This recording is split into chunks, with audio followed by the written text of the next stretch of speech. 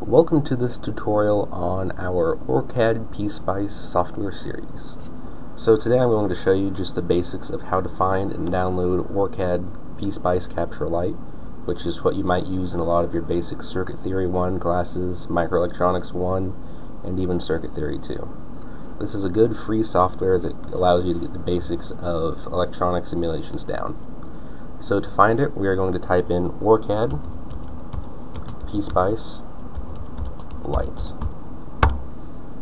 And then, I typed that in same thing. Click on OrCAD 16.6, first one up here. Then you click on download the Lite version now.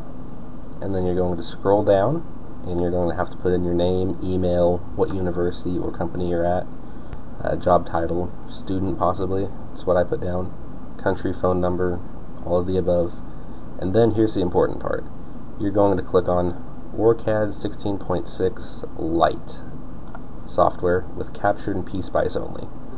I do this because it saves me a little bit of room on my SSD and it doesn't really give you a bunch of extra software that you're not going to be using at the moment.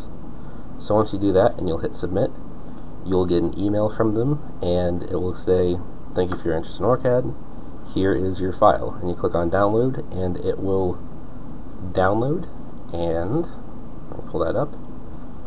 That is my downloads now. And here it is, just unzip it. And then go ahead and double cl click on the exe file.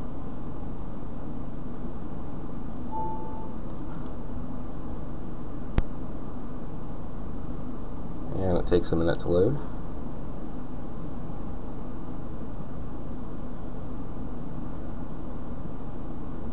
And then just go ahead and click next.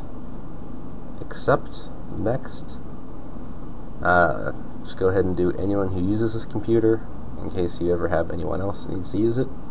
Go ahead and click next. Go ahead and click next. Next. And install. If you had a different drive that you have your programs on you would have wanted to go back and change that to a different destination drive. But I'm just keeping it on my uh, OS drive currently.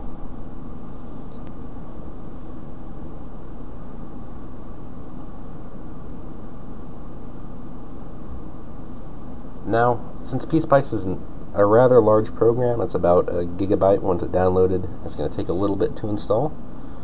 So I will cut this part out. Okay, so now OrCAD has finished installing and we're just going to go ahead and hit finish. And it should close out the installer. There we go. And close. And now OrCAD is not going to show up on your desktop but instead it is going to be in your start menu. So right here under cadence and what we are going to do is the program we are going to be working in is OrCAD Capture CIS Lite. So I'm going to right click and I'm going to pin that to start. That way it is right here and available for us to use.